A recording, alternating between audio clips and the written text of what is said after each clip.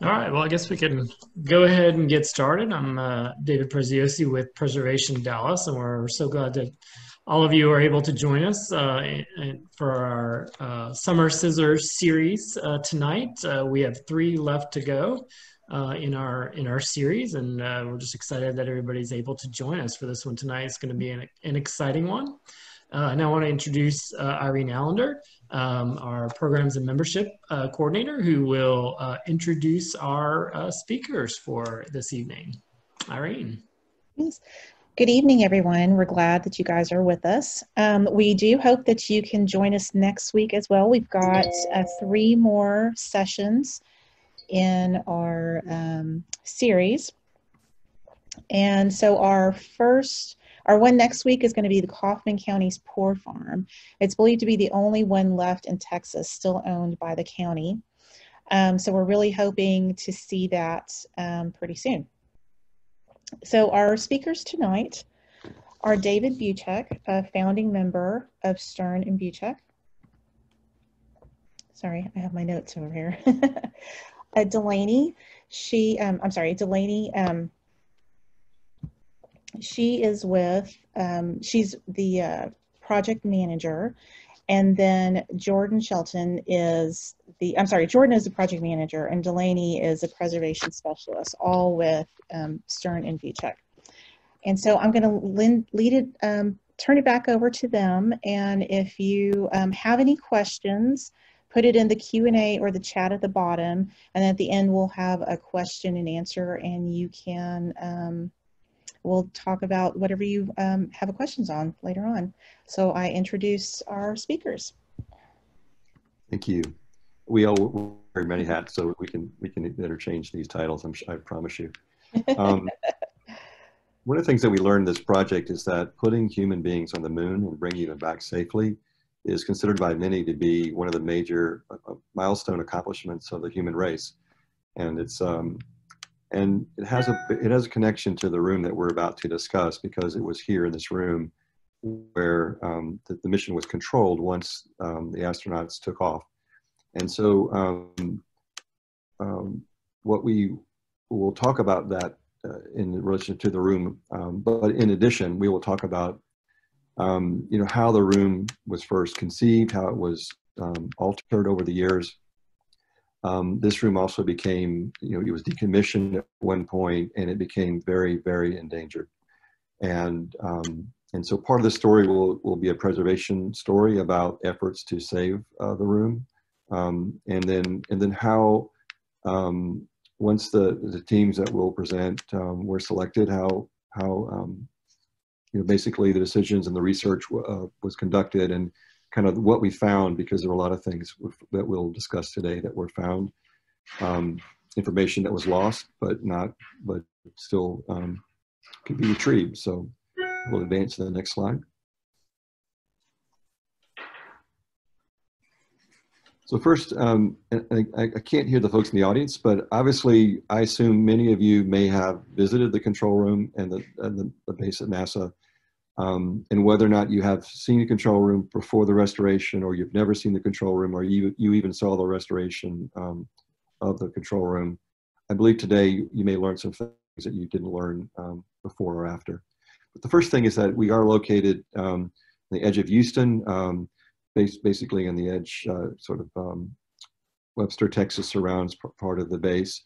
But what you can see is near the, the bay, you can see the NASA, NASA Johnson Space Center. That's the location. And here's an early picture of, of the base um, when it was first uh, constructed. Again, it was um, part of the story about the space race was to beat the Russians to the moon. And one of the ways they did this was to design the campus using um, kind of a modular design standards that um, many of the buildings have very similar components and they were able to mass produce them and erect them and do it in a very fast way. And, and so being fast and, and still being safe was still part of, part of the mission. And um, as you can see from the timeline that we're showing, um, uh, you can see you know, when construction started. Um, and building 30, where the red dot is located, that's the, that's the, that's the mission control room um, location. There are actually two mission control rooms that we'll speak about today, um, but it's the, uh, the one that was used for Apollo 11 for manned spaceflight that we'll spend um, most of our time on. And, and in 19, 1973, um, the base was renamed after um, uh, President Johnson.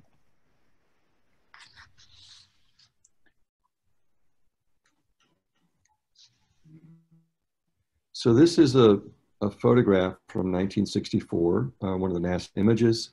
And um, you can see that this building um, is composed of, um, of, of, three different areas. It's got a mission control um, center. It has also um, a, a, lobby and also administrative wing on the far right.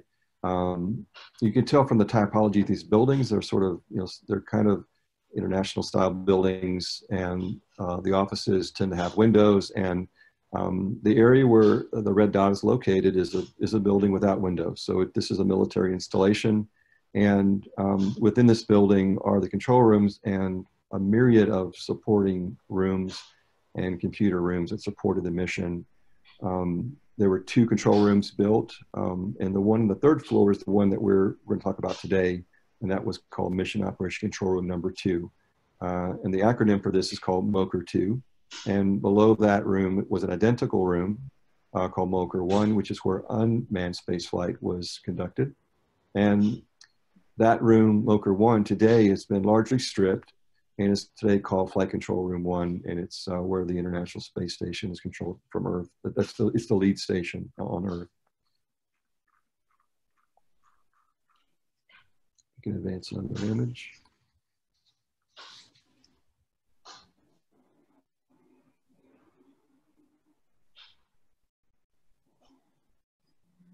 Here's a floor plan of the third floor. And the area in blue is really the area that the restoration uh, comprised. Um, if you look to number one, that's that's the actually that's MOCR two itself. So that's the that's the room that the flight controllers are, are are located in. Um, um, it's a tiered space, which we'll explain as we move forward. But uh, number two shows the visitor viewing area. That's where the public could come in. Back in the early days, the public could just come on the base and just come into the room, and there were no protocols. Um, room number three um, was the summary display projection room, and it's called the Bat Cave. It's a big black room full of mirrors and projectors um, that were projecting um, images on these very large screens. Um, and then uh, number four, you see this what's called the sim room. That's a simulation control room. Uh, we'll talk a little bit about that later in, in, the presentation about what was happening in that room. Basically, they were running scenarios um, to kind of troubleshoot uh, issues that may be, may be faced. And then number five was, um, it's called the ROKR uh, which is the recovery control room. And it's where um, the armed forces were working um, with the flight controllers to figure out where the astronauts would be making landing and they could pick them up um, uh, via the Navy. So um, that room has been greatly altered over time and was not, uh, we were not given access to those areas. And so um, we'll speak how, we'll, we'll speak to how we made that um, uh, part of the, of the, project without actually um, using that space. And then the next image will show sort of an axonometric kind of view of, um, of these spaces. So in the, um, on the far left, you see these um, kind of strange room with these floating rectangles. These are very large mirrors that are um, basically uh, the projection many of the projectors are located and then they're either facing uh, backwards or they're facing sideways in order to um, to get the focal length from the camera large enough it needed more space between the camera and, and the screen and to maximize room in the building they use these mirrors for like rear projection. So um, uh, then the room with all the consoles with the with the numbers these are the consoles which um, which we'll talk more about. That's where the flight controllers would sit and these are really very advanced communication devices for their time. They're like big, big iPhones, if you will. And then on the far right, you see a bunch of seats. That's the, that's the visitor viewing room where the public can come and look. So here's, here are a couple images. Um, you know, what we, um, um, in this room, um, many of the Gemini, uh, the program started with Gemini. Um, well, it's called Gemini. That's that's the other thing. The Gemini program, uh, flight controllers call this Gemini. And um, the latter part of that program uh, started in this room and then transitioned to Apollo. And so on, on the left, you can see the different missions that were part of the Gemini program and the Apollo program. And you can see in the room that there's a lot of information on these large screens. Um, there are time clocks and, and there are numbers and uh, graphs. And um, as we'll explain, all of this was done um, before the digital world that we know today. And uh, many of the things that you see are actually based on superimposing multiple image making devices in order to create um, a composition of images that we, we do with a computer today. Um, this entire building had rooms with computers in it and um, all of those computers combined have less power than your individual iPhone does today. So um, might advance the next image. Um, now, in addition um, to Apollo, this building, um, this sorry, this interior was stripped basically um, and renovated for the shuttle program. So um, much of the uh, like the early shuttle programs also were were controlled out of this room, and um, they removed everything except those P tube stations. And we first thought everything was removed because we were when we were first hired, we were told um, we want you to restore this room. And, um, but by the way, the carpet's been removed, the wallpaper's been removed, the ceiling tiles have been removed. Um, almost everything in the room has been removed and uh, the consoles have been reconfigured uh, from Apollo to shuttle. And our mission was to figure out, you know, what in the room was actually still original, um, what should be in the room, what should be removed from the room. And, um, and so we'll talk more about that story as we move forward. But the, the key is that once it was um, deactivated, it was then open for tours. Um, it was open. It was also determined to be a National Historic Landmark, which not just the control room, but, but the entire building 30 is part of that designation. And as we will talk, um, things started to deteriorate pretty uh, rapidly. So um, this is kind of what the, like the first time Jordan and I went to a meeting here, this is kind of what we saw. Um, you'll notice these small paltry images on the screens um, with small slide projectors on the other side of the of that screen, uh, showing images that were never in the room, um, not like not during Apollo 11, and um, you can see that the consoles, which um, are still they're they're arranged in an Apollo arrangement, but they're still largely configured for shuttle and they're devoid of life. They're devoid of all the things, the, the personal items, also just the technology they were using. Um, but essentially, this was uh, when they decommissioned the room. There was kind of a small effort to restore the room, and this is what this is what that effort produced as a restoration. And um, even though it looks kind of drab, it was the first time we visited this room just to know what happened in this room. It, you know, I guess in many ways it didn't matter to us. We were so um, beholden to just be in a place where history, you know, had been made. But again, you know, our task with this project was to really um, make this authentic and uh, something that um, that we could really be proud about. So again, another image of just kind of what it looked like. Um, uh, you can see that even while the carpet's not original in at this time, um, because it was it's it's rolled carpeting um, on um, on a, a, raised floor system, and the raised floor system did not um, it's not based on any known carpet tile, and so you couldn't use a carpet tile with nice clean edges. So um, over time, um, the edges become frayed. They started taping things, um, and again, the building was, you know, it, it was a it was a place that everyone wanted to visit when you took a tour of Space Center Houston but it was really kind of a sad state state at this at this uh, time.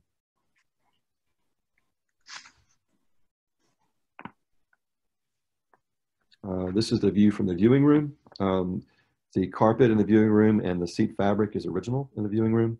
Um, again, you're seeing images on the screens that were not on the screens like during the Apollo program. Um, they, they hardly had video. They didn't have video landing. They just had a small video um, when they when they got out of the um, uh, the lunar lander. But over the years, people would come on these tours and they would vandalize things. Um, you know, behind the seats, you see these little what uh, most young people call um, iPhone holders, but these are cigarette ashtray holders right there. And but most of the lids have been stolen and ripped off the top of them. Uh, graffiti on many of the wall surfaces. Um, you can see where things have been torn, and it was really quite tattered. You can see that even the even the um, the seats that um, in the room had to be taped at one point just to protect them before they were restored. And then again, just looking at the state of the room, um, you know, it had suffered, uh, there was rusting metal, there, you know, we mentioned the carpet, um, and there are other dilemmas as well. Um, what you'll notice is that um, there were no, a number of shuttle plaques because every time there's a mission in this room, the flight controller will install um, a plaque for that mission. And so the room was showing two different stories. One was Apollo and one was shuttle uh, uh, for the early shuttle uh, missions. And so one of the things we had to wrestle with is how do we return the room to an authentic um, room as it appeared for uh, Apollo 11, but still honor the, the shuttle program. And so we'll, we'll talk about how we did that as we go forward. So um, one of the things that um, is that when you start a preservation project, um, the first thing you need to know is what, it, what is it that you're preserving and what is it um, that you should do.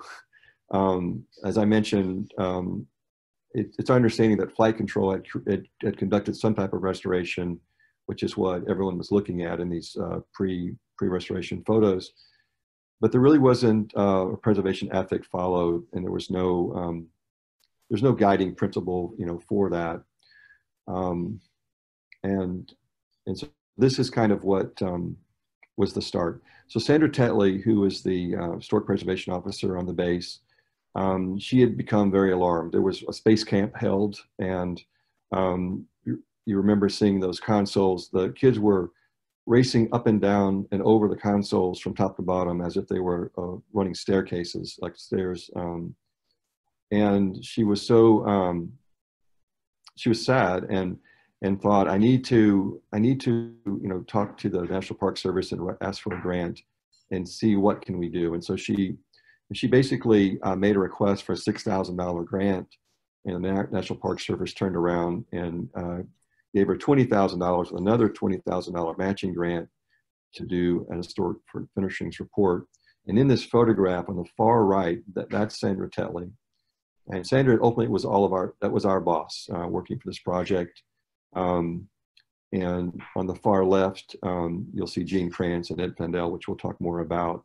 And there are a lot of uh, retired flight controllers in this room, along with other uh, staff um, uh, uh, from the base and from other organizations, um, including uh, Preservation Houston, that were part of this consultation process about um, really, and really this process was trying to convince the NASA uh, administration and the, and the flight control that the building should be restored and that the building should be, this, this interior should be restored to match the historic furnishings report.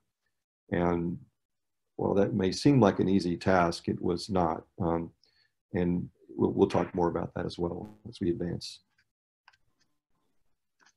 So um, some of the really big heroes here are really the retired flight controllers because without them, project never would have been restored. It would just be still still looking as it did in that pre-restoration condition. Um, I mentioned, I mean, there were many flight controllers that are, were part of this, the success of this pro project. Um, and two that were the most um, vocal and most seen often in the media were Ed Fendell. Um, he's in the white shirt uh, on the right and of course he's um, he's sitting down just to the just on the in the photograph on the left. Um, the man standing up on the left is uh, uh, one of the flight directors for the Apollo 11 program. That's Gene Kranz, and you can see Gene Kranz in the color image, um, kind of to the right of Ed, just uh, with his arms crossed. And these two really went toe to toe with the with the NASA administration. There are a lot of issues of control. Um, involved. Um, this building is an active military installation. It still um, has missions going on. The room below this room is still the lead control room for the space station. And so flight control actually, you know, they were very concerned that anything we might do to restore the room might um, adversely impact the missions below. Um, Space Center Houston, which is the nonprofit arm, um, you know, they they were wanting to have tours, and um, even while the, work was happening, and then um, and then we have the administration, and everyone was kind of vying for control of the process, um, and um, it was really Mr. Kranz and Mr. Fendell who really made it very clear that, as far as they were concerned, the retired flight controllers they, they wanted to see this um, room restored back to the way it was um, to and, and, to portray the room as they saw the room um, but you know using apollo 11 um, using the moment that we um, landed the astronauts on the moon as the sort of the time stamp for um, for for what this for people for what people would see um, and they refer to this room as their cathedral and and again, they didn't have a, they didn't, like as we'll explain, they didn't have a motion camera showing the spacecraft landing. Um, they were looking at graphs and looking at computer readouts saying that basically the computer had um, been overwhelmed and it basically uh, had, had rebooted itself. And we're wondering whether it was going to crash because um, it, things weren't going well. And again, it was just looking at data. And so um, they did not want to show things in the room that were not in the room. And at the time, um, there were a lot of, um, there were folks who wanted to talk about going to Mars and have pictures of Mars on the screens. And, and, and so what you'll see in this presentation is that our work was really to put it back to this point in time. And, um, and it's based on uh, the moment that the spacecraft landed. Um, the consoles um, reflect the actual configuration of the consoles are actually configured to Apollo 17, which was the height of the Apollo program. And so um, those are the sort of the two guiding principles for the project.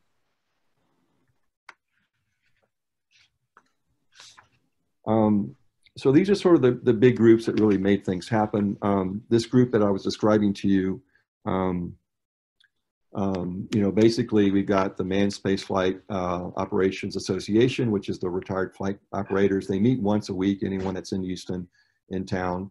And, you know, they consider themselves the unofficial owners of the room. Um, of course, NASA is the property owner and um, is a federal agency um, in charge. And one of the problems we faced is that you can't give money to the government uh, unless it's your taxes. Um, uh, the idea of giving money to the government usually means you want something from them and you're expecting something back in a transactional way. And so um, it's, you know, that's why it's, it's very, it's, um, that's why you can't do it.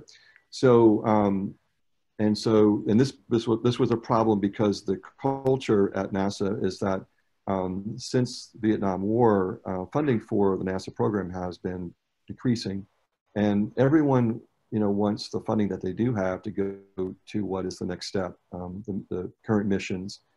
And so the idea was to raise the money for, for the restoration from private uh, outside sources, which would not take away from the missions. And uh, the city of Webster, um, you see the logo here, they surround the base and they make so much money off of hotel motel uh, tourism because this is the draw um, in this, this part of um, the greater Houston area that they basically, you know, donated a huge amount of money, starting with $3.5 million and then another matching um, grant of $500,000. And ultimately, um, in total, 5.5 million was raised for the project, but there wasn't a way to spend the money because it was a government installation. And that's where the Advisory Council on Historic Preservation uh, come, comes into play. It's a quasi-federal agency that oversees the Section 106 process for historic properties. Um, they had a provision that you could donate money to them as a pass-through and they could donate the money to a government agency for preservation. But they had never, I think, passed more than $200,000 through that mechanism. And, um, and the um, uh, Adam Graves, who will speak about, um, he was the lead preservation consultant for the overall team um, knew of this provision and suggested that to the NASA attorneys. And, and for that reason, the project happened. Otherwise, the money never would have made it there. Um, and then the other big group, um, the Space Center Houston, that does the tours, and they also had a Kickstarter program that helped raise money, and it kind of worked um, in unison with uh, City of Webster. So we'll advance next image. So this is sort of a, a kind of a team of who was involved with this project. Um, again, the ultimate owner is uh, NASA, and uh, Sandra Tetley was really our um, liaison. At, at, some point, um, NASA made the determination to follow um, the preservation path and follow the furnishings report. Um, and that, that then led the way to forming a team. Um, the project management was a company called Ayuda out of um, Denver, Colorado, who had a lot of experience um, managing large governmental projects. And then um, things were, um, when we first started, um, um, uh, Gravitate, which you see here, Adam Graves provided, our, he was our lead uh, preservation uh, consultant for the, for the project and the longest running member of the team. and then essentially our firm, Stern Beach, uh, was hired to handle the restoration for the interiors, the design, the artifacts, um, everything except for the console uh, restoration, which was done by a company called Cosmosphere out of Kansas, um, who are, they have a museum there. They actually own many of the um, consoles from uh, the Mission Control Room number one when it was stripped.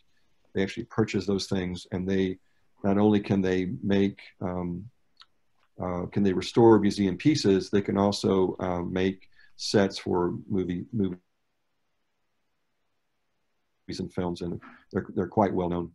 So everything else though came, was kind of still back to our team to figure out, and so we we put together a large group of uh, folks, and so in this image we're just showing um, a number of the folks that we worked with um, that uh, were experts in some field that we brought them in as a consultant, and then in many cases they also performed an aspect of the work, or um, or they would help to um, devise a spec for for that work to occur.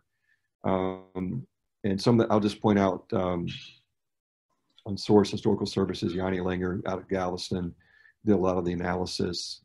Um, and uh, George Weinzinger with Audiovisual Guys was um, his wife formerly worked in the room when it was in the Apollo program. Um, so as we go along, we'll talk more about more of these consultants as we move forward. Um, but this is kind of the kind of what we what we saw. So I'm going to walk you guys through. Um, I guess the following slides are kind of our process. So um, as the project team determined that Apollo 11 and the, the moon landing was the moment of significance for the room. So um, that's the, we kind of narrowed down um, our folk, our, our uh, research on that time frame and tried to um, create, the, return the room back to that significant um, time. Um, NASA provided us with um, hundreds of photos from spanning the entire Apollo era, as well as hours of, of videos during the mission. So um, we kind of wanted to share with you the uh, some of the photos and walk you through some of um, the kind of the items that we looked for um, to return the room. So in this photo, um, you can see on the, the wall plaques, we, we uh, originally, how the room is before we restored it, it was full of uh, shuttle plaques, just um, so we, we had to identify the original plaques that were on the wall during Apollo 11. And uh, there was uh, Gemini plaques along the fur down below the lights, and then um, Apollo uh, flight patches on the fur down right there. Um, we looked at the consoles, and you'll see um, kind of ashtrays, coffee cups, staplers.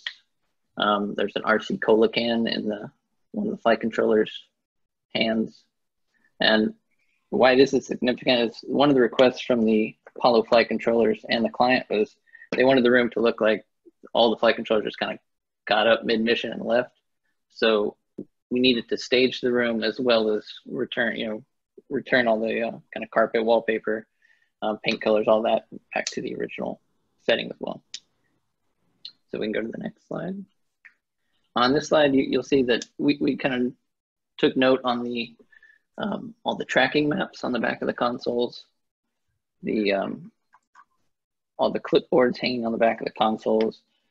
Um, one of the consultants, uh, Cosmosphere, who's in charge of restoring the the consoles that would took note of the button colors, which buttons were actually activated during a mission. Um, might be hard to see, but there is actually a model of an Apollo moonlander that maybe Delaney could point out with her cursor. Um, right there. So um, we, we tried to track that down and um, return that. There's a, a, tape recorder, briefcases, black binders. Um, and then on the far wall, there's um, a calendar. There's um, there's also uh, like coat racks, and uh, I think that's about it for this photo. Oh, oh sorry. Um, this room, the simulation control room, actually had the least amount of photographic research for us to use. Um, this one we got kind of late in the project, but it it we it just verified our assumption that it was staged in a similar manner. Um, this this room was not e active during a mission; it was used for training purposes. Our um, so uh, so in here, I just wanted to point out that there's you know wall-mounted monitors which we were able to return to the room. Um, and then we kind of determined the wall color painting or the wall color finish and the uh, we kind of cleaned up the floor tiles in here and uh, put the consoles back the way they are. Sorry. Um, so the recovery control room, this this room um, is no longer present. It, this area has been turned over to the um, the Air Force for use. So to honor this room, we um, actually cap captured this photo, and you'll see in the, in video walkthrough, which we'll present, that we um, printed this photo on glass and um, then installed it in the window that looked from the MOCR that looked into this room. Um, so it, it kind of honored the people that that uh, served this room. Visitor viewing area. This is um, how it looked, obviously in 1968. Just wanted to point out that um, kind of the ashtrays on the back of some of the uh, some of the chairs, as well as um, ashtrays at the end of the rows and kind of at the bottom row. There's a wooden shelf along the, uh, the front windows and that window looked into the uh, mission control room. Um, there's also a quiet sign that's still present in the room, which we restored. And then the it's kind of the ceiling mounted TV up there, we actually uh, had consultants, I believe it's Cosmosphere, re uh, recreate a retro housing and then create an LED um, LCD screen. So it's a um, modern TV made to look like a replica. Um, and you can you can kind of tell from this photo, but the uh, you'll you'll you'll see it when we look at the chair fabric. But the chairs do actually change from a, like an orange to a red. They every other row. You can kind of see a hue change in this black and white photo. But we'll we'll show you the color one shortly.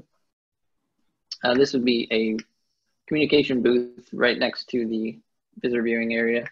And um, just want to show you this photo because this was um, one of the rooms we kind of tried to faithfully restore with equipment. Um, there's, um, uh, again, ashtrays, rotary telephones, uh, TV, and then some communication equipment. And, and along along with the photos, we had NASA gave us a full set of the original construction drawings that they had on file, as well as um, subsequent renovations that took place.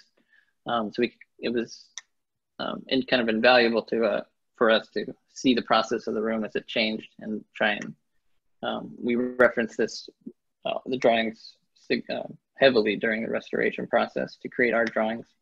Um, just to point out, so this drawing, kind of hard to see, but it's um, it does show you the all the original elevations, calling out wall uh, the original original wall finishes, um, the different details with the reveals between between materials. Um, there's a standing desk detail, which is in the back of the visitor viewing room, which we restored. And uh, we kept referencing this drawing to figure out what the appropriate covering would be. Um, and uh, there was a part of these drawings was also a, a finish schedule. So we were through that, which we referenced to help kind of track down some of these original materials and manufacturers. Um, one, um, another step we used to do this research was actually interviewing some of the retired flight controllers. Um, this was very helpful for uh, Cosmosphere, who restored the consoles so they could um, learn how the flight controllers used it, what buttons they might have pressed during. Um, as David said, Apollo 17, so that's what the consoles would be used. But um, we, we were also given the opportunity to ask them, you know, what the original finishes look like that are no longer present or where things were located and, and what personal items they might like returned to the room. And they also, um, we'll go back one more, sorry. Um, that last photo is actually um, a lot of the flight controllers, which was extremely helpful. They gave us um, their documents that were used during Apollo 11 to scan and recreate um, some of the tracking maps, the um, the flight controller logs, all the documents that you'll see that we staged, all pretty much came from um, either NASA records or from the flight controller donations. Um, this the next few slides are just some kind of examples of our construction drawings, just kind of how um, detailed we went. So um, a lot of these tags reference um, kind of narratives that went in depth about each item, but um, it shows you for that far wall, you know, all the coat racks, actually, uh, we tracked down each, um, each uh, sport coat and we, through donations on, on the campus, we were able to get enough black binders to fill the bookcases. Um, again, finding a calendar to go where, where we noticed the calendar was during, um, uh, during the photo research. And um, one thing to note here is that that gray square behind the coat rack is um, an actually a, a, piece of original wallpaper that we found behind a behind an electrical panel, and uh, the client um, requested that we keep that in place as well as the um, uh, Texas Historical Commission. So we um, we actually kind of repaired it a little, like stuck it back with glue, and then um, encapsulated it in place. Um, again, this is just a uh, one of our drawings just showing each console and how um, how detailed all the staging equipment that um, Delaney was able to locate online and eBay and through all different resources, and uh, just showing exactly through through our photo evidence we had to um, show where it would be placed and why it was um, kind of give evidence of when it was there, why it was there, um, and Delaney can expound on if uh, um, sometimes she argued with the flight controllers that um, she had photographic evidence that a, like a coffee cup was on top of the console. They would argue um, that they would never do that. So um, uh, the and then again, just we we um, had to. Um, Delaney's going to talk more about the chairs, but we uh, we did did um, several plans with the chairs because we only could only find so many historic chairs left at Johnson Space Center, and um, a few of them were donated. But we, um, Delaney worked through different staging plans for the chairs, and uh, this is an example of that.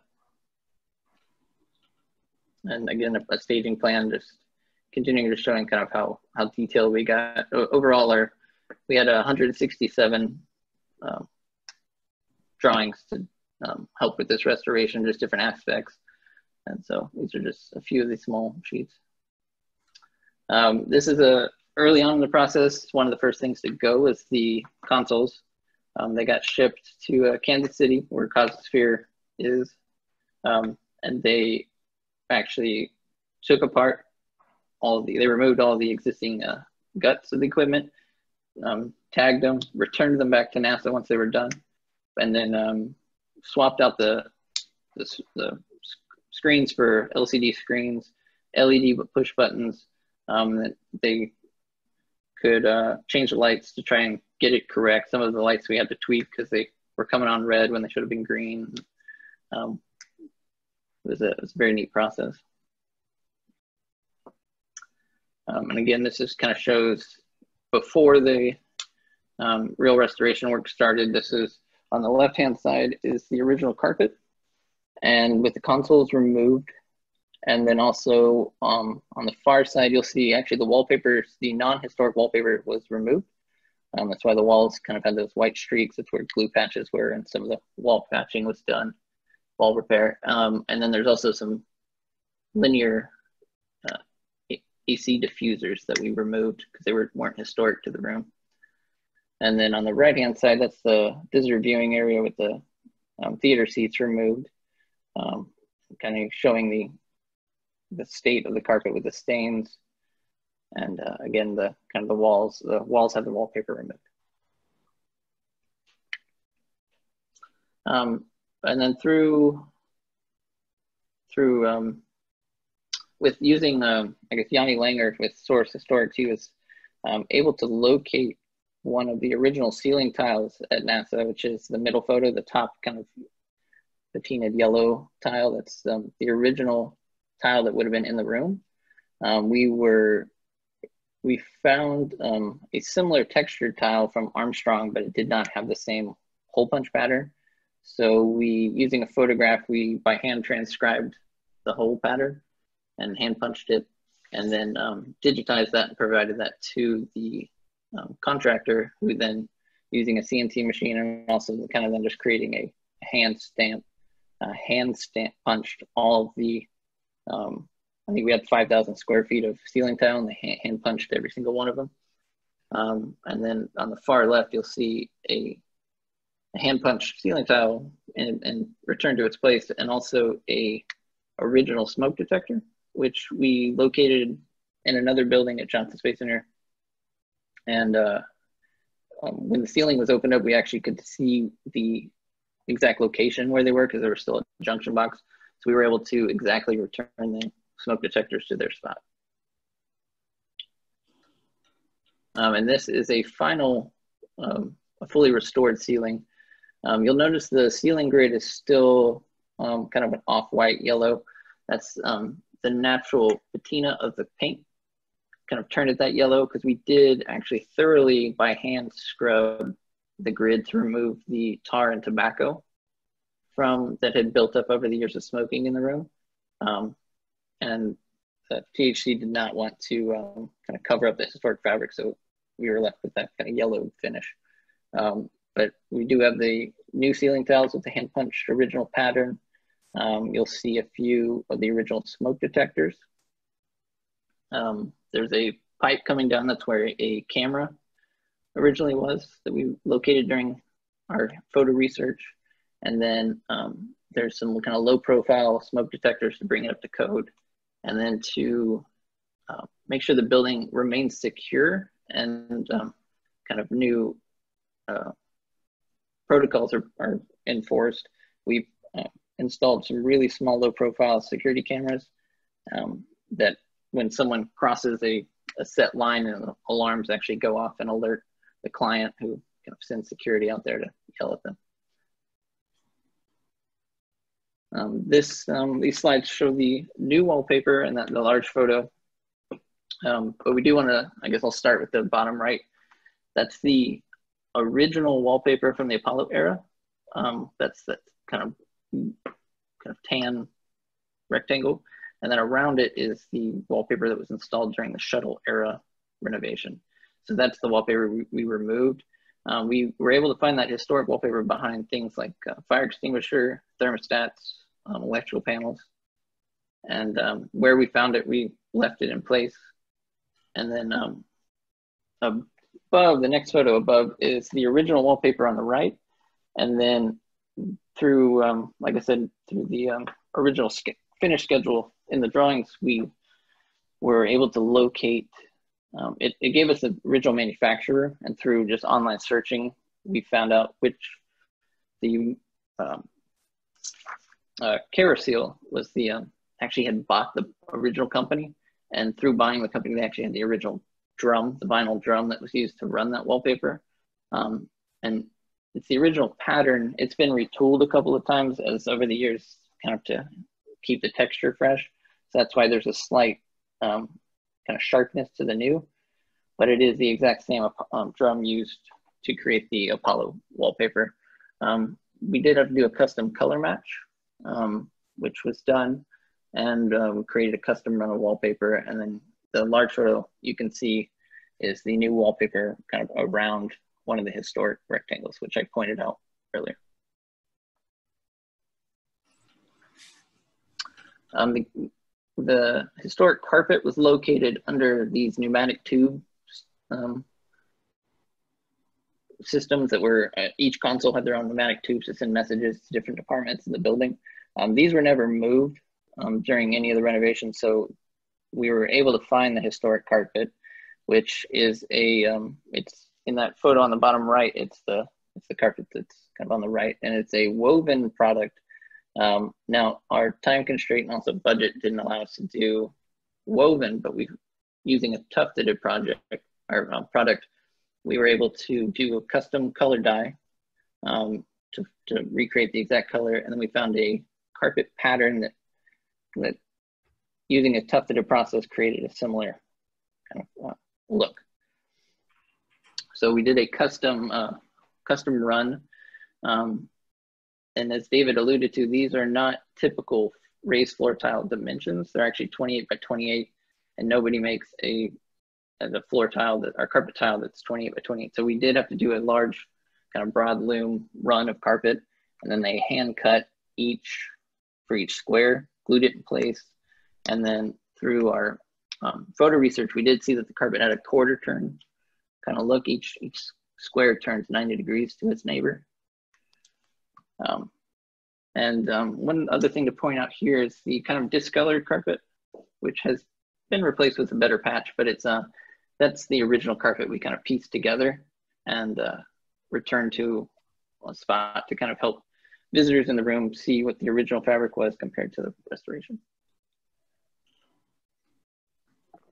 Um, this slides show some of the historic, um, um, kind of historic wall finishes and colors that we found, and then some of the art, our attempts at uh, kind of color matching. The left side, the transom panel above had never been painted over, so that's the original color to the room. And then the doors below, they had been painted several times, but um, that little kind of lighter gray color, that was our color match that we did. The next panel over, um, Yanni Langer, again from Source, um, was able to locate, he noticed through photos that the stencil was a little different and kind of not in the same space. So he did some investigated investigative work and was able to un, fully uncover the original stencil. And uh, by hand, he then went back and refreshed it using the black paint. Um, these, this is the uh, theater seat. So the, in the visitor viewing room, on the right-hand side, that photo, the large photo, you see the really soiled one. That was the state of the chair cushions before we started the restoration. Um, now that the, the, the lighting in there is dark, but you could still before the restoration happened, you could still tell those chairs were filthy. Um, and then on the right hand side, the that's a fully restored um, and clean fabric. That's um, a nylon fabric, so it held up, but it's um, and, and allowed us to clean it pretty well. So all the original fabric was able to be restored and put back in place. They received new cushions. Um, and that top hand corner kind of hints at those cigarette um, ashtrays I pointed out earlier were actually um, the uh, Melanie from Textile Preservations was able to find the original patent number for that ashtray lid and um, had it scanned and 3D printed. So there's new plastic, um, or I'm sorry, they're metal 3D printed lids to all the missing ashtrays that were on the back. Um, and uh, all the chairs were kind of the mechanisms were restored. Um, some of them had been broken over the years, and the chairs were then bolted, placed back into, put back into place.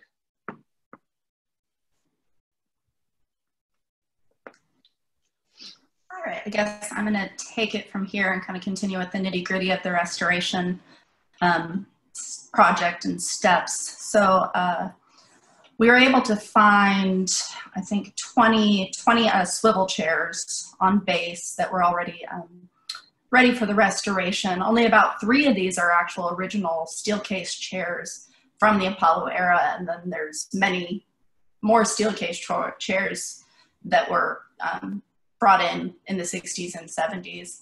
And then there also are these kind of typical government issued chairs that kind of have this gray green vinyl, um, both with and without arms, and with um, just straight legs, and then also some with casters. And we were able to find a lot of these chairs on base. Uh, Jordan and I did a lot of um, just roaming around the campus and going through buildings and, and taking furniture and not, and just trying to look like we were meant to be there. um, and hope that nobody asked too many questions. Um, so we worked with Steelcase. They were able to um, to tell us what the exact chair was. So we found the chair, and we did a call through Docomomo uh, a national nonprofit that works uh, that preserves modern architecture and advocates for its preservation. And they helped us try to do a call for chairs to try and find more and more Steelcase chairs uh, we were given some leads. We found a few more, but um, unfortunately, at, at some point, OSHA declared four-pronged chairs um, to be unsafe, so government agencies started to remove these chairs. So uh, I think a lot of them ended up in landfills. Um, a lot are in private homes, and people have them, but trying to find, you know, 20 of them was was not the easiest task. But we continue to work with Steelcase for the ones that we did have, and um, we were able to get find the specs for both the vinyl and the woven, fabric. So you can see the seat has vinyl and woven fabric on the seat and on the seat back. Uh, we were able to find a pretty good match for the vinyl just off the shelf.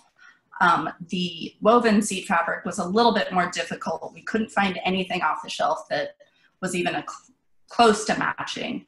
So we ended up talking to the local Houston Weavers Guild and we engaged a local weaver to uh, hand weave the fabric. We just were able to give her the Steelcase card and say, we need this. And she came back with, you know, several samples and got very close. So here is our original, and here's this new woven seat fabric that um, our, our weaver did at her home studio on her loom. So here's the final product with our, our weaver, uh, Mary Welch. And here's one of the chairs completely reupholstered to match the original Apollo 11 conditions. And so other elements that we had to locate were the pyramid top trash cans. Um, these were going to be very costly to remanufacture. We were willing to do that, but again, Jordan and I did some hunting and we located four of them across campus, which was what we needed. They had been painted white and the, the 80s NASA logo was applied. So we did some scratch tests and determined a color, an appropriate color to paint them back to the Apollo 11 color. So other things that we found on our hunting were um, these stacked metal bookcases. Some situations they have feet, some they just sit on the floor. Uh, some of these metal uh, paper trays, we did a call through the email system at NASA on the J Johnson Space, um, at Johnson Space Center for anything Apollo era related and put boxes in multiple buildings and people just threw in what they could. So we ended up with plenty of binders to fill the room from the era, these kind of black press board with, with silver, um, uh, I guess, attachments. We found several of the original uh, coat racks and their, their metal coat hangers that came with them. Uh, we found one standing ashtray that wasn't in very good condition, but we were able to have that restored.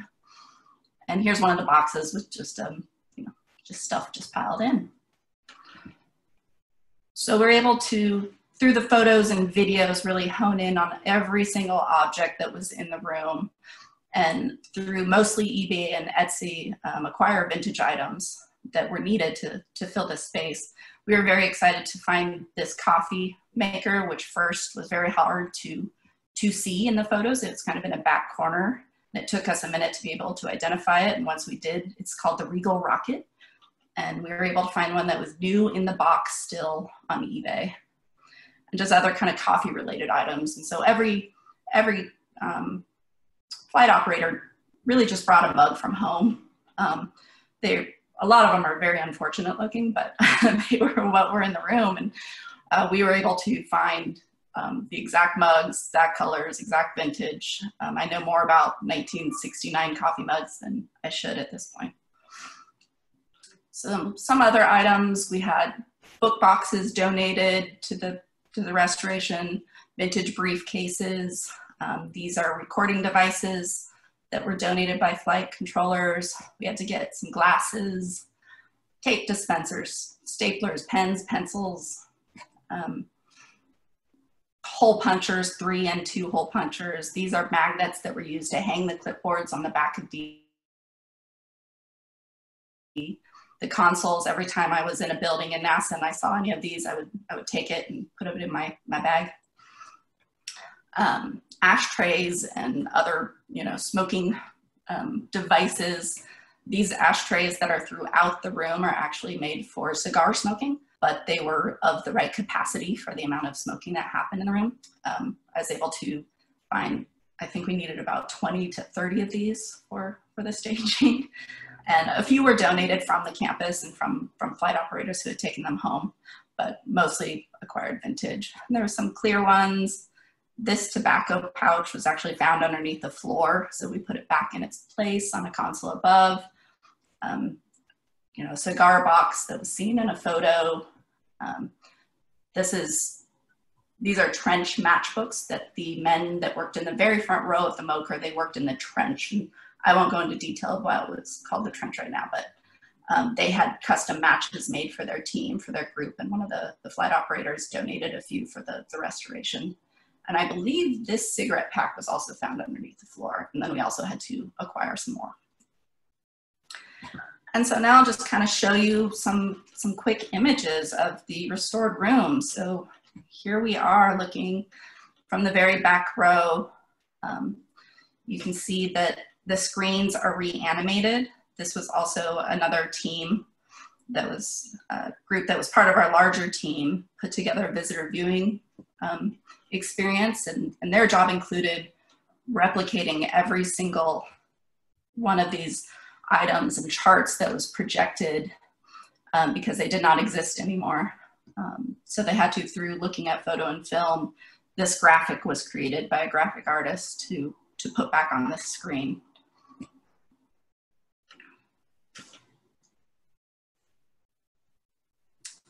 Um, here's a look at the, the flight director's console. So this is where Gene Kranz and the other flight directors would sit during their, their shift. Um, one good, I'll point out here, this was the only um, wooden book box that remained from the era.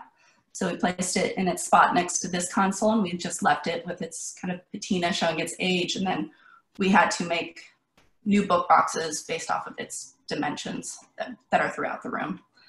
Um, one item that I really like to talk about is, is this mug, which um, was Gene Kranz's flu mug, which was a gift from the controllers um, during a time when Gene Kranz was um, very adamant that every, every flight controller get his flu shot to where he had a doctor standing at the door giving out flu shots as the controllers walked it for their shift. So as kind of a gag gift, um, one of the controllers had this mug painted and it's a FD for flight director, and it says flu um, director, and white is crossed out because he was the white team flight director. So they crossed out white, made him the flu director, and painted a syringe on the side. And so the original mug, this mug is, is owned by a person, and, and we were unable to acquire it for this restoration. But um, through photos, I was able to find the exact mug on eBay that it's painted on and then I hand painted from the photos um, the mug back to its condition. And this is the success for me because Gene Kranz, I think, still thinks this is the original mug sitting there, and it's it's my my handiwork. So yes, I succeeded. Um, here's just some console details, kind of the level of, of things that we had to to put in the room from doing large, you know, scale wallpaper to make, putting number two pencils, you know, in exact locations. And we found an RC cola can um, that go that's in the console where the, these gentlemen seem to drink a lot of RC cola right at this this area. Mugs. Here's some of the reproduced flight manuals. Um, just kind of going down another row, some more mugs, there's stopwatches, pipes, tobacco tins, paper and styrofoam cups. There's a slide ruler here. Um, the ashtrays here, you don't see it, but we actually um, burned cigarette tubes that were didn't have any tobacco in them and kind of crunched them up and they fill all the ashtrays. So the ashtrays look like they're they're being used. Again, like Jordan said, it's it's as if the flight controllers just got up and all, all walked out of the room.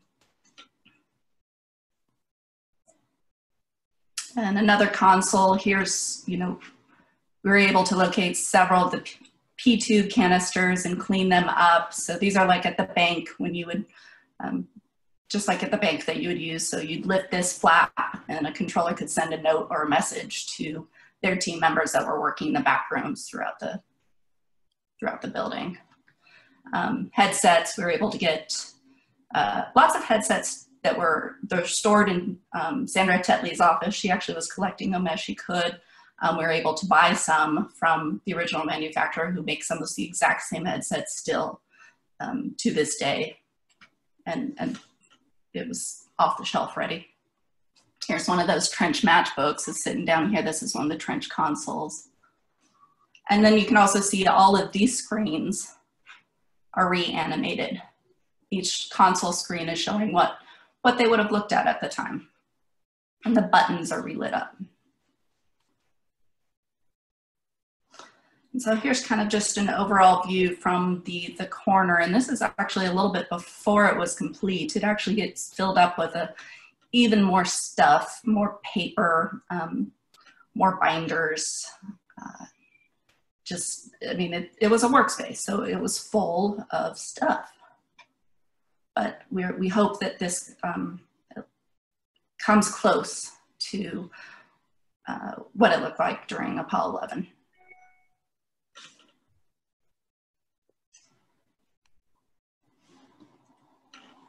And now I guess I'll hand it back over to David, but we have a kind of a quick little uh, video to walk you through so you can actually kind of almost get a, a, real life tour from wherever you are seated right now.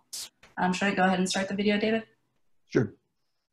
It's a, it's a short video and it'll kind of conclude our presentation, but it'll give you the experience. And if you were, um, this is the way the visitors enter. These are, we reframe these um, uh, sketches that were done uh, during the time. So you're, this is what you would see when you enter the visitor um, viewing room. And again, all of the upholstery and the carpet is original to the room, um, just been cleaned by Melanie and her, Melanie and her team um, uh, out of uh, Allen, Texas, not far from you all. Um, again, most visitors don't go into the MOCR, but there are level nine tours. And one of the things that we were asked to do was make a door where there was not a door. So this door on the left that you see covered in wallpaper is a new entrance that allows um, what these are called level nine tours that can actually go into the space, um, but they cannot go up on, onto the um, the trays. Um, but we will do that in this video. And so um, we tried to, you know, we tried to make the door look like it's not an original door. Uh, it's just it's, it is as recessive as possible. Um, you see, these are flight director. each of the flight directors had a um, had a plaque, and on the right you see these are the shuttle um, emblems that we relocated. They're still in the room, they're just not in the um, viewing area of what would be the Apollo um, view corridor. On the right is the MOCR. That's the, the window that uh, Jordan mentioned. We, we put that photograph, um, photograph on the glass and installed that. And Gene Kranz, it was one of the great moments when he walked in and saw that photograph as if he was still looking into that room. He was taken aback. Again, this is, this was actually taken a little bit earlier, so there's a lot more stuff in the room actually today, but um, we were having a hard time staging it because of all the press going on at the time. um, we couldn't. We had to wait till late at night to get back in the room to do our work, and so it was just um, kind of a frenzy. Um, above that drinking fountain, there's a very special mirror. Um, we'll talk a little bit about. Um, but um, so this is the lower tray, which is called the trench. Those pneumatic tubes, those aren't plastic or you know like at the bank. They're actually aluminum. And for some reason, on this lower level, they, when they would pop out of the bottom, they would fall on the floor and roll around and make a great ruckus. And one of the flight directors uh, at that in that lower level was um, served in Korea and uh, part of the munitions um, battery. And he kept remarking it sounded like he was back in Korea and the spent canisters were hitting the floor. And that's where the name trench came from, and it stuck. Um, again, you see the, the book boxes um, had lids on them so that the lid kind of su supports the box as it just sits on that little miniature ledge. And there would be lots and lots of people sitting on that small ledge as well. Um, there were four teams um, for the Apollo program. You had to show up a few hours early, uh, sit down next to the flight control um, director that was in the room before they handed off to you. And when um, the moon landing occurred, I think most of them all showed up at the same time. So it was just packed full of people. Uh, you can see the roses in the, in the front of the, the, in the front left corner of this image. That's the mission roses. Um, an anonymous uh, person would donate um, roses to the mission, and it's never been uh, disclosed who, uh, what family was doing that. But we do know that uh, one of the last orders, like in the, the shuttle program, came from a family that was now in Dallas. So we think that it's a family who's um, carrying on that tradition for, for their parents. Again, that's looking into the MOCR. That, that's that view that Gene Kranz and Jordan talked about earlier. That's the Regal Rocket Coffee Maker. It still had inspector's uh, tag inside of it. And again, it was really, it was fun to see the flight controllers when they finally saw the room, you know, no one was very excited about carpet or wallpaper, but when all the coffee cups and ashtrays and all the gadgets, um, they really got excited. In fact, Gene Kranz walked up that coffee, walked up to that coat rack, walked in the room. He hung up his coat on that coat rack like he was going to work like every other day, as just matter of fact. And people kind of took note note of that. And um, so we really even that television set is from New Jersey. It's never it was never turned on. It's never been turned on. It's just it's authentic um, uh, television that was actually found some of the other items had to be 3D printed, as Jordan was mentioning. Um, if we couldn't find it, we had to replicate it. Like the camera that you see there is a 3D print of the original camera. And you see the graphics, um, um, and it was you know, the very talented team that came in, and, and even the, the flag uh, that you see, there's a story there with the flag. Um, uh, that flagpole was erected during the mission of Apollo 11. Um, and there's a story with that flag. Um, the flag is meant to be on the moon, but um, they sent a flag up and then brought back the other another flag. But it's it um, we can we can talk more about that when we conclude the presentation. So uh, that's kind of the the end of this the section. This is sort of the again this is the this is almost everyone on our restoration team. This is where there's a few people um, on the contractors team that were not available for this photo, but um, it was a really large effort and it was an effort that everyone was really proud to be a part of. Um, again, I'm not sure how we how questions will, will be coming if, if, they're coming to us, but um, um we want to thank everyone for for hanging in there and um, and um, turn it turn it over back to the to Dallas.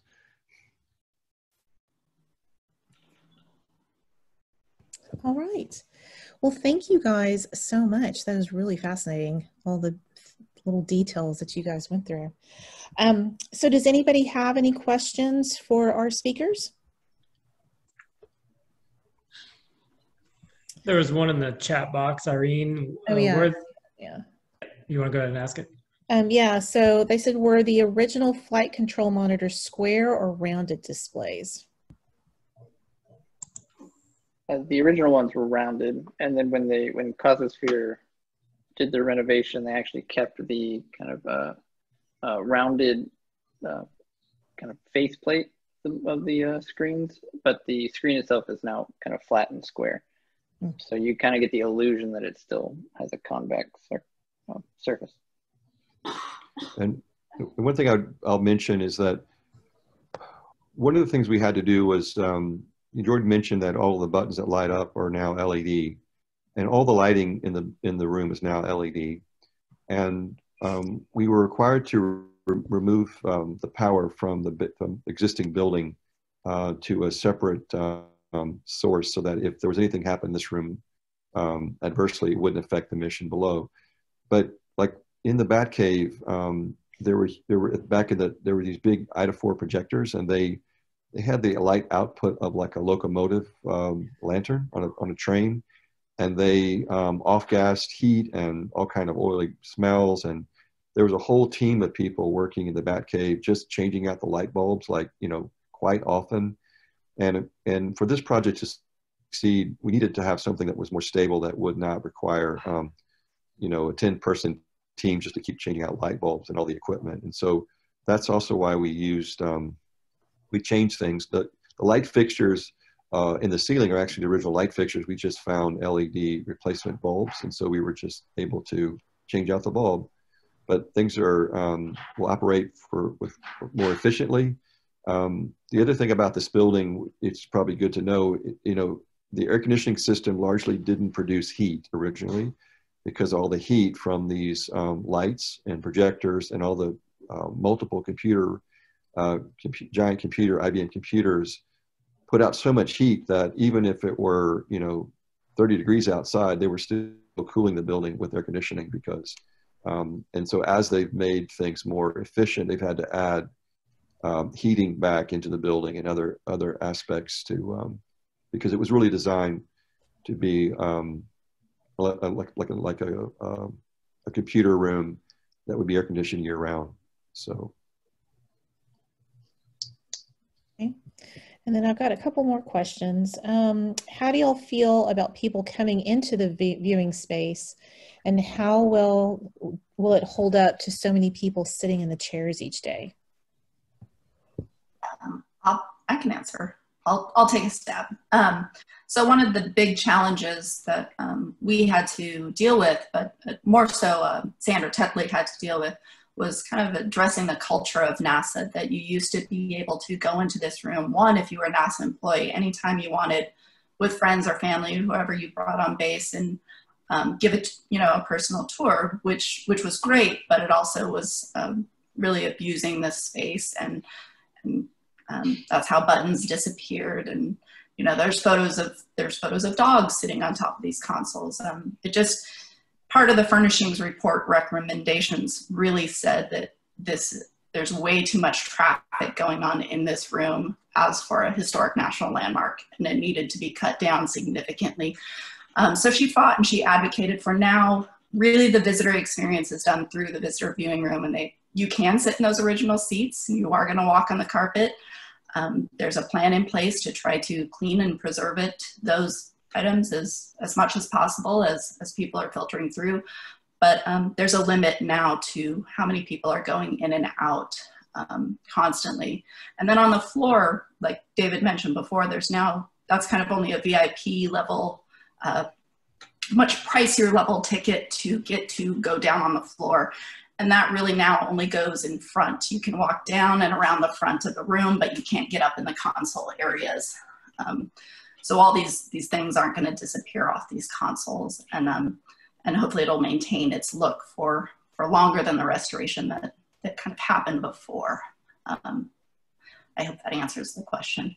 I think it's very rare to be able to go to a, a, a, landmark this like this and sit in the original seats though. And, and the times I've been there, the docents have been very good to kind of scold kids that had their feet on the, the seats and, and really kind of monitor. I think uh, Sandra has, has beaten into them that they need to, to really take pride in this space and the docents definitely do. So um, we'll, we'll just have to see how, how that visitor viewing room holds up. Wonderful. Um, so I have another question. It says, what was the biggest surprise of the original materials found in the place? Um, we did find like original uh, cigarettes under some of the floor tiles, which uh, the client Sandra Tetley uh, made it. She was adamant and clear she wanted to keep all of them. She has it in a little bag. I think we even staged some of them um, in in some of the ashtrays we put back. Um, anyone else? I, I really like the Regal Rocket coffee pot because the the photo that we were able to look at, you know, we could just basically see a a sliver of a foot and then you another photo or video we're able to get a, another piece of it like the lid. And and i think jordan just randomly saw it you know with an ebay search. You start to get good at what what descriptions you need to type in to try and find an item. And um, it's just such a handsome coffee pot and and, and just such a, a very um, telling uh, item of the time its design and and just also just the statement that this was this was an office for these gentlemen. This was where they went and had sat and did their job all day and drank coffee like the rest of us at our desks. I think for me it was the carpet. Um, you know, because we've been told again the ceiling tiles, the the wallpaper, and the carpet had 100% been removed, and and uh, you know they were at the beginning they were trying to look just find carpet books and show them to flight controllers and see does that look familiar. You know, it was such a chaotic process because memories, you know, even short-term memories are are not very accurate. And um, we had we had actually understood that all the consoles, including the P2 stations, had been re removed uh, for the shuttle uh, reworking. And so when the when they started to remove the first consoles, which were done in phases, um, um, you know, they removed the consoles and then, but they did remove the P2 stations. And so when we acquired, because the plan was to remove the P2 stations, um, they said, well, we can't remove them because they're hard piped to the ground. And that's, that's when we asked the question, well, if they're hard piped today, the how, you know, how do they remove them during shuttle? And so the answer was they didn't. And that's so when we got underneath them, um, and there wasn't a lot left, but we were able to find enough to, to, to see that that carpet was woven. And today, uh, folks don't, woven carpet isn't made um, in that kind of way. It's a very labor intensive uh, operation. And so um, that's what we had to rely on the best we could do. And we made uh, countless numbers of tests uh, were done. And even the, you know, we had to make a decision on, there were some carpets that looked great six inches away, some six feet away, some 10 feet away. We had to determine even what the vantage point would be.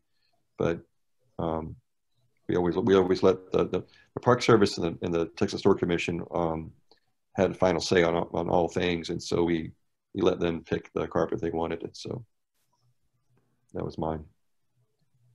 Very cool. Um, another question was, what was the final price tag of this project?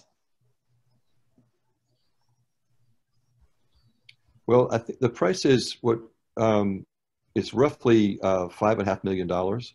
Um, there's some aspects of it that we um, we don't know the actual price, I will say, because one of the things about working in this building is that um, all of the, the contractors and the tradespeople that we brought in um, could not work on electrical systems or mechanical systems um, in the building. So there's a there's actually a special guild on the base. Um, their acronym is PAE, and they're the ones who touch anything, um, even above the ceiling, contain asbestos uh, fireproofing. So uh, all that work had to occur um, using their guild, and we we don't actually know what they were charging. So um, I'll just say it's it's um, for all the things we know, it's five and a half million, and um, that's that's all we can say about that. Okay, and then I have one last question. What's the story about the mirror over the water fountain?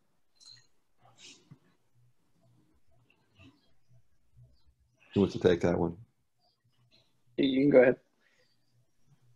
Um, so you've all seen the you know the the Tom Hanks movie where you know the Apollo mission blows up and um, uh, 13 and um, they barely make it back. Um, but they do make it back, as you know. You've seen the movie, you know the story. You were alive uh, largely when that happened.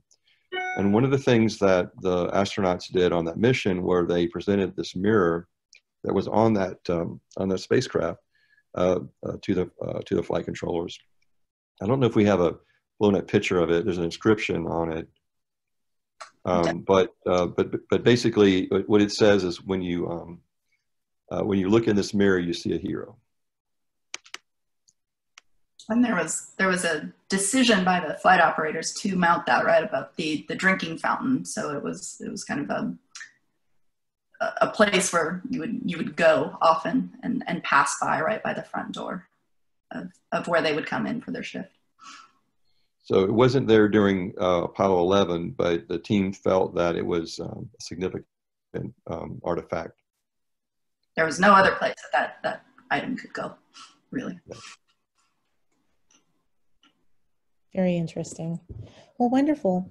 Well, I want to thank the three of you so much for presenting this to our group. I think we've had a, a, really good turnout, and I think a lot of people were interested in this project just because it's kind of a, a little bit of history that everyone has a memory of. Um, we really appreciate it so much. Um, I want to thank everybody for um, attending this presentation tonight. We hope to see you next week um, Tuesday night, 6 o'clock for the um, Collin County Poor Farm. Um, we have three presentations left, so we hope to see you guys at the following. And then don't forget about Thursday, it's North Texas